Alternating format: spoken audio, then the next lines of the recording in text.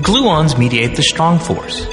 They have no mass, no electric charge, and no weak charge. So depicting gluons visually is a real challenge. To begin with, there are eight of them, and each carries a combination of color charge. Secondly, there are no free gluons.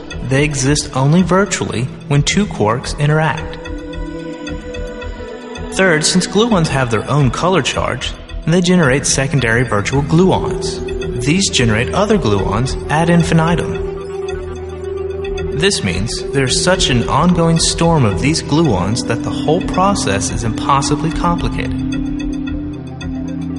But undaunted, we press on. We know that when gluons cause two quarks to interact, the quarks swap color. And since color is conserved, the gluon must have at least two colors of its own.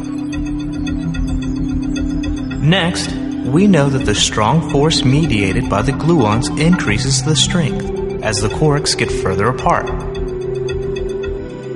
This means the gluon field is what is called a flux tube, and this leads to a gluon shaped like a string.